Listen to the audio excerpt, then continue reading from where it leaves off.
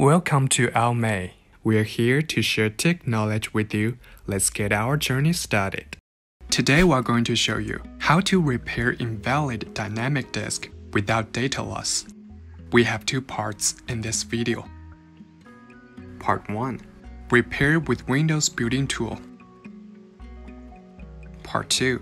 Repair with a powerful software. When your dynamic disk shows as invalid in Windows, it may be caused by various reasons, like bad sectors, hard drive issues, bad SATA cable, virus attack, or malware. And the most important reason could be the Windows incompatibility issue. But please don't panic, I will help you repair this issue in this video. Just keep watching. As we all know, not all versions of Windows operating system support dynamic disks. If the dynamic disk shows as invalid, you could upgrade to another Windows operating system that supports dynamic disks. If it still doesn't work, you can try to repair it with Windows built-in tool, DiskPart, and Disk Management. Let's see the detail. With DiskPart, we can make our invalid disk online input CMD in the search box and choose Run as Administrator.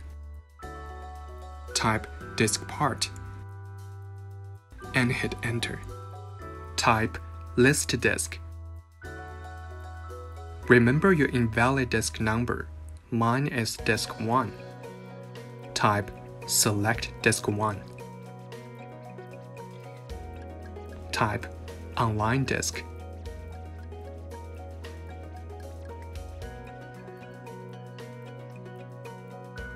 With disk management, we can convert our invalid dynamic disk to basic disk, then your disk can show normally.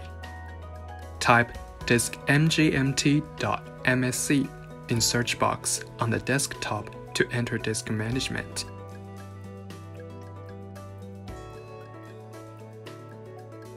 Right-click the invalid dynamic disk and choose Convert to Basic Disk.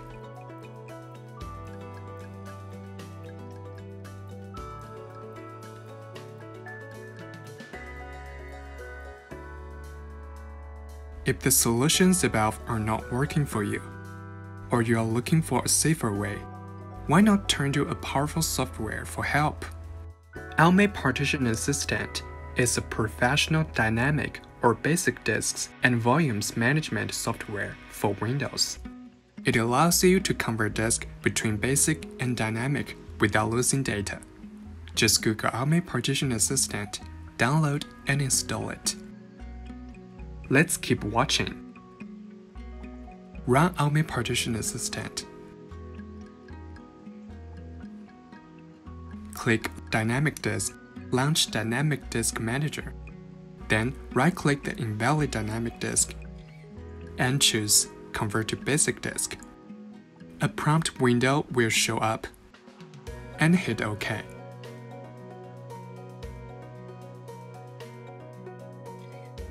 Press Commit.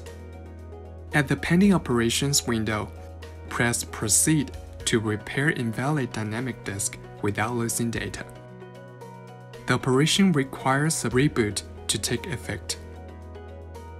Now, the dynamic disk shows as invalid problem should be repaired, and it will never bother you again. That is all about how to repair invalid dynamic disk. Hope you can get what you need after watching. Want to know more about AOMEI? Looking for more tech knowledge? Just subscribe us and leave comments. We're here to help you with any questions.